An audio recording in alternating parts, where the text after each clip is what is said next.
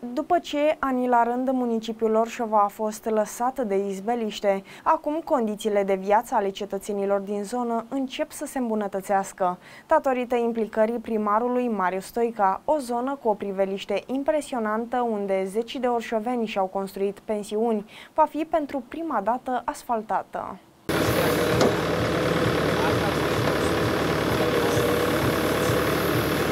Gropi adânci la tot pasul, pietre de toate dimensiunile și suprafețe pline de noroi. Dacă priveai spre Dunăre, peisajul îți tăia respirația, însă când vedeai cum arăta drumul pe care trebuia să mergi până la pensiune, te răzgândeai. Așa arăta strada Grațca, care a fost lăsată de izbeliște de foștii edili ai municipiului Orșova. Acum, după zeci de ani de așteptare, datorită implicării primarului Marius Stoica, susținută de președintele Consiliului Județean Mehedin, Dinția la din Georgescu, acest drum se va asfalta. În prezent se reabilitează rețeaua de apă. Ne aflăm pe strada Greațca, o stradă din uh, municipiul Orșova, care a fost uh, lăsată uitării, ca să spunem așa, de toate autoritățile care au fost la conducerea Orșovei. La momentul acesta efectuăm lucrări de reabilitare a rețelei de apă, care era veche și nefuncțională în mare parte a ei. Am schimbat uh, iluminatul public pe această stradă, grație că avem tehnologie LED pe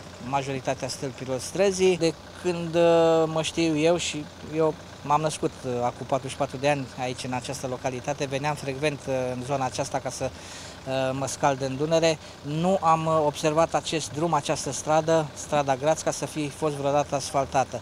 Iată-ne că suntem la un moment cât se poate de important pentru, pentru noi, dar și pentru locuitorii acestei străzi.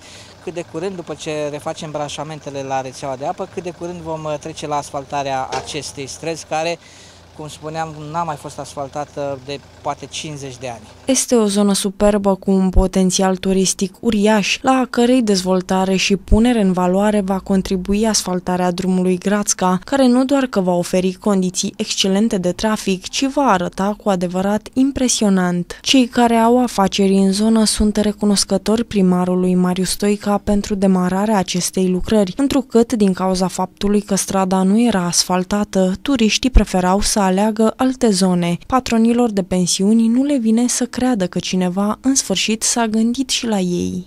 Aceste lucrări erau foarte necesare, fiindcă sunt foarte multe pensiuni care au avut de suferit datorită uh, drumului, uh, pentru care uh, diferiți uh, turiști au refuzat să se cazeze în zona noastră, deși noi plătim impozit și aveam acest drept fiind uh, o stradă a municipiului Orșova. Dumneavoastră aveți aici o pensiune. Am o pensiune și i-aș mulțumi domnului primar fiindcă datorită lui acest drum se va face, drum care am insistat la ceilalți primari uh, de-a lungul anilor și nu au luat nicio măsură. Iată că de data asta primarul actual a reușit să, să ajungă cu utilaje și să trimită oameni specializați pentru a face această stradă care era foarte necesară pentru locatarea acestei eh, zone și a orșovenilor din, care vin în zonă pentru uh, turism. La sfârșit, acum văd că totul e bine. La urmă se se rezolvă tot. Primarul municipiului Orșova, Marius Stoica, a demonstrat că se poate face administrație în folosul cetățenilor. După zeci de ani de așteptare, se pare că locuitorii pot respira liniștiți, acum că la cârma primăriei este un om care își dorește să dezvolte orașul și să îmbunătățească condițiile de viață ale orșovenilor.